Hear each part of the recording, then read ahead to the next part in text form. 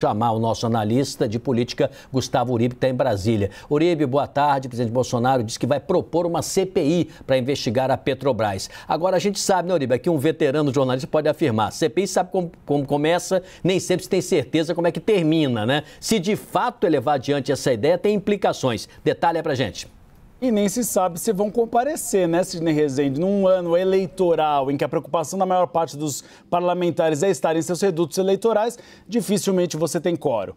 Boa tarde a todos, boa tarde, Cine, boa tarde, Sidney. Realmente você tem essa tentativa agora do Palácio do Planalto, presidente Jair Bolsonaro, de criar uma CPI para investigar um conselho de administração da Petrobras que foi indicado pelo próprio presidente Jair Bolsonaro. Só isso já tem gerado um pouco de estranhamento dentro do Congresso Nacional. Conversando com algumas lideranças partidárias, elas dizem que a própria nota da Petrobras em relação a essa defasagem e o repasse dos valores, ela já é autoexplicativa. Ela aponta que se não houvesse o repasse desses recursos, a Petrobras poderia sofrer prejuízos e mais, você poderia ter uma situação de desabastecimento de diesel no país. A Petrobras já tinha assinalado isso ao Palácio Planalto há semanas. Havia o perigo de falta de diesel e você tinha uma defasagem muito grande. A Bicom, que a Priscila Asbeck ressaltou, a Associação Brasileira dos Importadores de Combustíveis, ela apontava uma defasagem para o diesel de mais de um real. E agora a gente tem visto que o governo federal tem feito críticas em relação à Petrobras e de que maneira lidar com isso. O governo federal tem razão que os lucros da Petrobras são grandes. A previsão é que em julho cheguemos a um, a um patamar de 32 bilhões. Mas a questão é que boa parte desses dividendos e lucros são repassados para o Tesouro Nacional.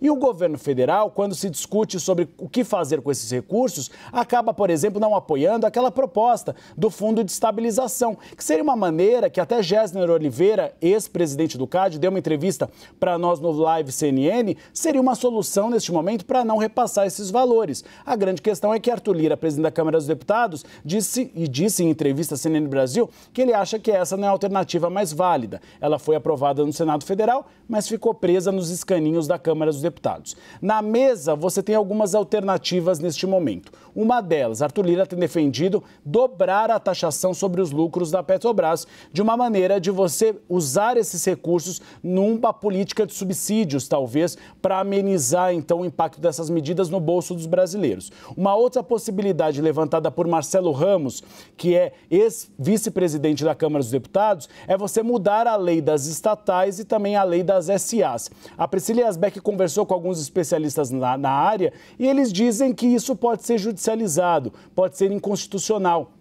E há uma preocupação do mercado financeiro de mudar uma legislação que teve, aliás, muito apoio do Centrão durante o governo de Michel Temer e que traz um pouco de previsibilidade e respeito às empresas estatais. E aí há uma outra possibilidade que é considerada mais concreta, que a Arthur Lira tem reconhecido também nos bastidores, de incluir na PEC dos combustíveis, que deve ser votada agora na semana que vem, e a PEC ela prevê um montante de 29 bilhões para aqueles estados, unidades da federação que isentarem o ICMS sobre o gás e também sobre o diesel, uma espécie de auxílio motorista. Essa possibilidade já estava em discussão no PLP 18, que foi votado, aquele do teto de 17%, só que caiu em um dos, em um dos destaques do Senado Federal. E agora pode ver essa possibilidade de voltar.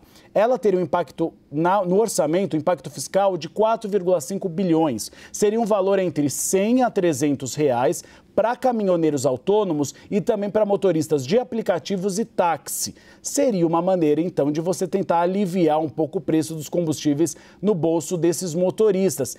É o suficiente? Não é. 300 reais hoje, para muitos desses motoristas de caminhão aplicativo que giram o dia inteiro, é quase nada, mas é uma ajuda diante do cenário atual.